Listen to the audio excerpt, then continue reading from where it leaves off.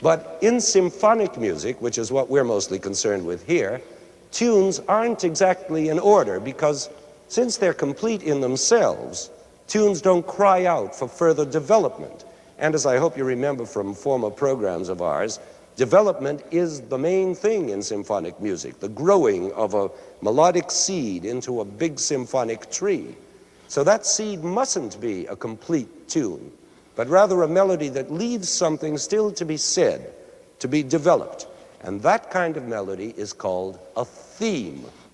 Well, that's already a problem for those people who are always expecting music to consist of full-blown tunes. So they naturally find these incomplete themes less melodic, let's say. I suppose then they should complain about the famous four-note theme that opens Beethoven's Fifth Symphony. That's hardly melodic at all. Or about this theme from his Seventh Symphony.